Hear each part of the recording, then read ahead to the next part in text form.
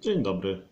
Dzisiejszy temat to odpowiedź na pytanie, skąd mam wiedzieć, że Bóg w ogóle istnieje. I to pytanie zadają ludzie często w różnych kontekstach. I tutaj najprostsza obserwacja, którą możemy zrobić, jest taka, że w zasadzie nie istnieje na Ziemi taki lud, który w naturalny sposób nie byłby przekonany, że Bóg istnieje. Wszystkie ludy uważają, że Bóg istnieje i często odwołują się do tego, że ich przodkowie spotkali Boga i ich przodkowie przekazali im tą wiedzę, że Bóg istnieje.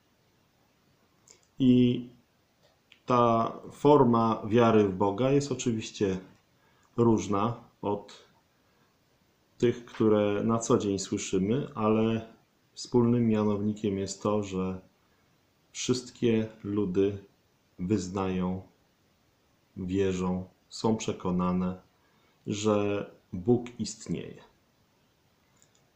Nazywają go czasem Bogiem, czasem duchem, czasem jakąś istotą, która stoi nad nimi.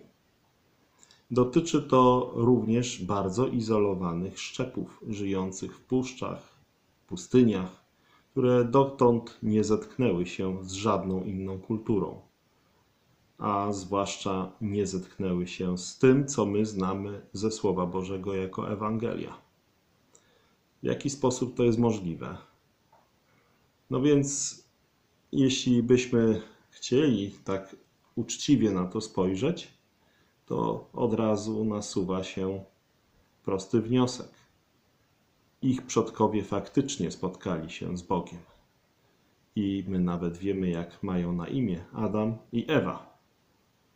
I ich przodkowie przekazali swoim dzieciom, a te dzieci ich dzieciom, a te dzieci ich dzieciom. Tak doszło do tych plemion, które dzisiaj nawet żyją w rozproszeniu, bo wszyscy się wywodzą od Adama i Ewy. Wszyscy posiadamy tę zdolność wyciągania wniosków z tego, co widzimy. I te wnioski prowadzą nas do tego, że wiemy o istnieniu niewidzialnego stworzyciela, niewidzialnego stwórcy. Na podstawie obserwacji tego, co zostało przez niego stworzone na podstawie jego cudownego dzieła stworzenia. Nikt nie wierzy w to, że zegarek się sam zrobił. Nikt nie wierzy w to, że samochód się sam zrobił. Nikt nie wierzy w to, że parowóz się sam zrobił. Nikt nie wierzy w to, że laptop się sam zrobił. I zwykły guzik, nawet jeżeli jest znaleziony gdzieś w wykopaliskach archeologicznych od razu naukowcy wszyscy uważają, że jest to ślad działania twórcy, człowieka.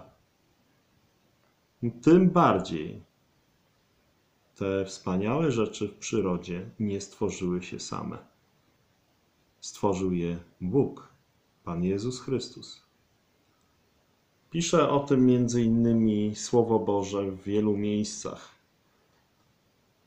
I jeden z cytatów, który tu przytoczę, to jest z Nowego Testamentu, wypowiedź apostoła Pawła. On mówi coś takiego, albowiem od stworzenia świata niewidzialne przymioty Boga, wieczna Jego potęga oraz boskość stają się widzialne dla umysłu przez Jego dzieła, tak że ludzie nie mogą wymówić się od winy to mówi list do Rzymian, pierwszy rozdział, dwudziesty werset. Na podstawie obserwacji stworzenia możemy jedynie dowiedzieć się, co prawda, że Bóg istnieje oraz wyciągać pewne wnioski o Jego mocy, sile, bogactwie Jego intelektu i myśli. Niczego natomiast nie możemy powiedzieć o Jego cechach, takich jak miłość, życie, miłosierdzie, dobroć, w tym celu od Boga otrzymaliśmy Biblię, Słowo Boże. Tylko w Biblii jest zawarta taka wiedza. Dziękuję Państwu za uwagę. Niech Wam Bóg błogosławi.